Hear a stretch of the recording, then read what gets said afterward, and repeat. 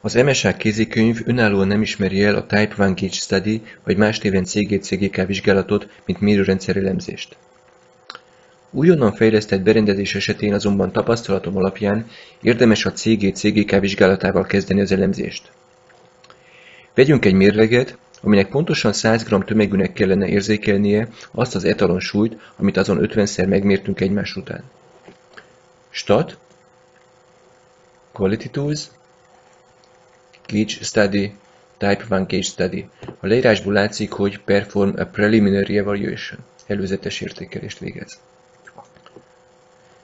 Kiválasztom az adatokat a mért adatokhoz. A referenciának 100 g-nak kell lennie. Mivel a mérleget szeretelt, vákumfóliázott, felvágottak mérésére használjuk, ezért a tolerancia 6 g lesz. Az Option menüre kattintva szeretném megmutatni önöknek, hogy a CP-CPK kalkulációhoz képest CG-CGK esetén a toleranciának csupán a 20%-át vesszük. Azért a 20%-át vesszük, hogy maradjon hely a mérőrendszer többi komponenséből adódó ingadozásra is a tolerancián belül. Leokézom, még egyszer okézok, Megjelent a grafikonunk. Jelen esetben a probléma abból adódik, hogy az átlag, a min, eltér a referenciától. Az átlag eltér a referenciától. Itt van a referenciavonal, az átlag eltér tőle.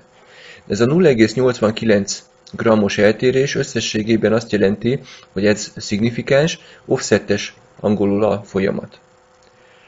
Az offsetességen kívül másik probléma is adódik, mégpedig az, hogy a szórás elég magas.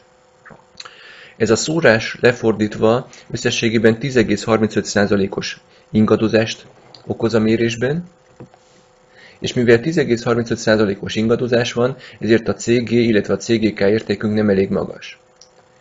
CG 1,67 fölött van, ez még elfogadható, de az offsetesség miatt negatív a CGK-nak az értéke, azért negatív, mert a felső specifikációs határon kívül van az átlag.